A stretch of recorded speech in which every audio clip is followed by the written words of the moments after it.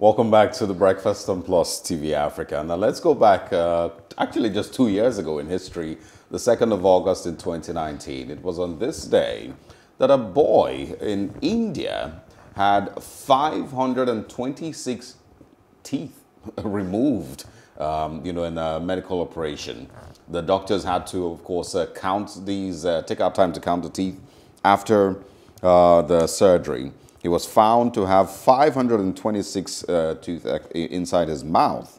The seven-year-old boy had long complained of having a swollen and aching jaw and surgeons at the, it's called the Saveetha Dental College and Hospital in, in Chennai, India, operated and found 526 teeth crammed inside his mouth.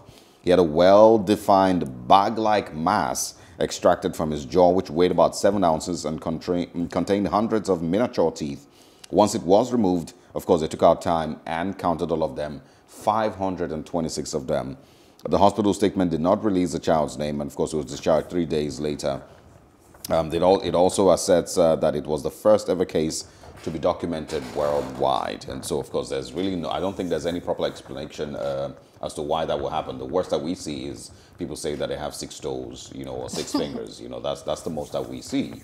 Uh, nobody has ever had more teeth than you know than you know they, they normally shoot. Five hundred and twenty six. I remember watching the video of the doctors taking time to actually count the number of teeth. They took about four hours to count and they found 526 teeth-like structures in the boy's mouth. You know, the story says that his parents had discovered that the son's um, you know, right jaw was swelling or right cheeks were swelling. And it seemed like symptoms of a decaying teeth. And they took him to the hospital.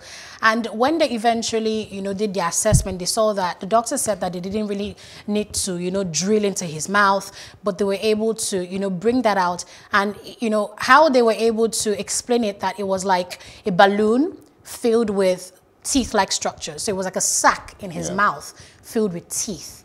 I mean, that's amazing. So thank God they were able to remove that successfully. They didn't need to drill, so no construction was needed. And uh, doctors say the boy was expected to recover quickly. So yes, good no, one. No bomber will be too tough.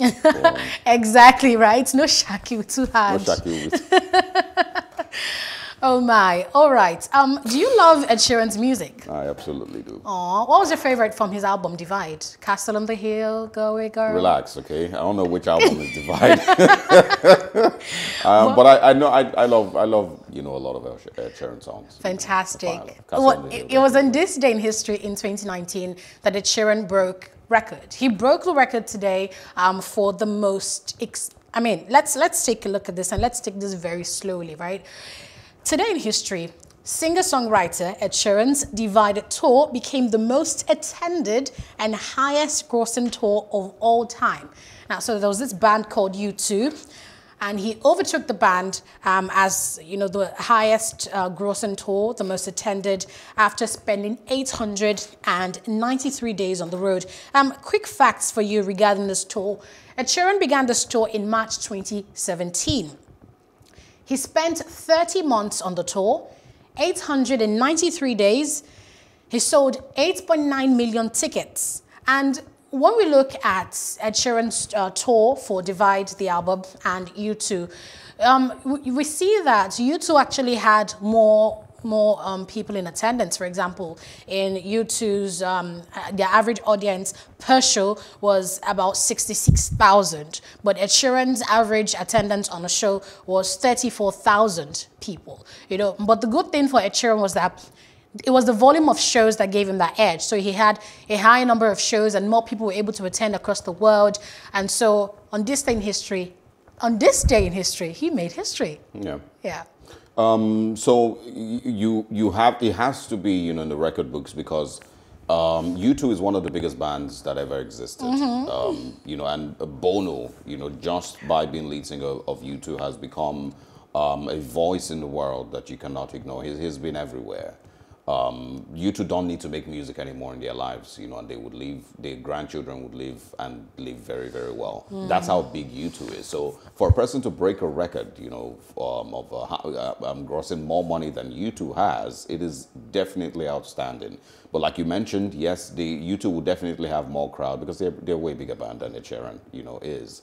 Um, so, but, but I think that also, I'm not sure what year the U2 tour was, I think something else is, you know, the fact that there's, there's, they've also over time been able to expand the ways of marketing these stores. Yes, that Ed Sheeran's album and that period in his career was massive for him across the world. He was maybe the biggest artist at that time. Um, but they've also been able to expand different, you know, ways with which they market these stores, make it easier for people to buy tickets, you know, not just online or on ground. You know, you can also get, you know, other ways or platforms which to get these tickets and fill up a stadium pretty easy. So he definitely, you know, you know, found himself in a better time, and at the same time, you know, found himself with better marketing, you know, than U2 did. Um, but it is still a record that needs to be spoken about um, over and over and over. There's there's barely any bands bigger than U2. Maybe Coldplay is still not even bigger than U2. Um, maybe it is. I don't know. But U2, you two, and and uh, Ed Sheeran, um, to, totally different wavelengths. Ama uh, amazing record there, grossing seven hundred and thirty-six million dollars. All right, that's what we have for you today on uh, Today in History.